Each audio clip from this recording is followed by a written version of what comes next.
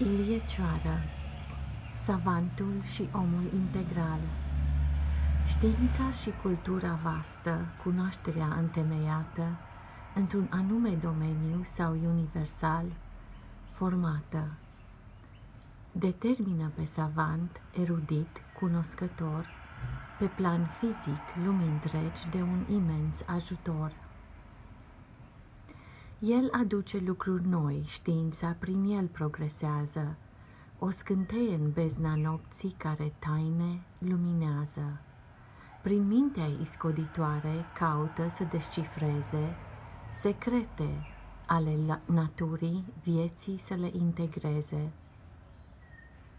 Tot progresul de pe Terra, fruct al minților active, Universul mic și mare prin eforturi respective ne e astăzi cunoscut și util trăirii în sine când e corect folosit așa precum se cuvine.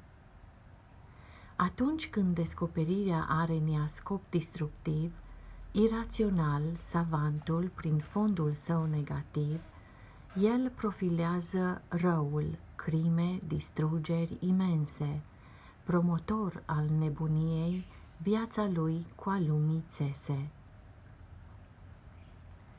Omul integral, distinct, pe el iubirea îl conduce, factor de armonizare, răutatea o reduce.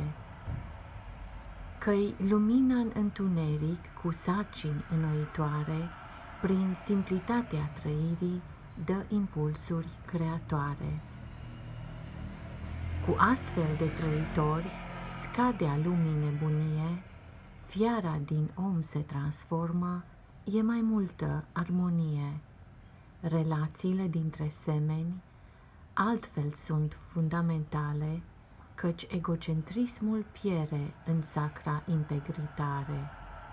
Integritate Om savant și integral este foarte greu de atins – fiindcă structuri diferite, străine în a lor cuprins.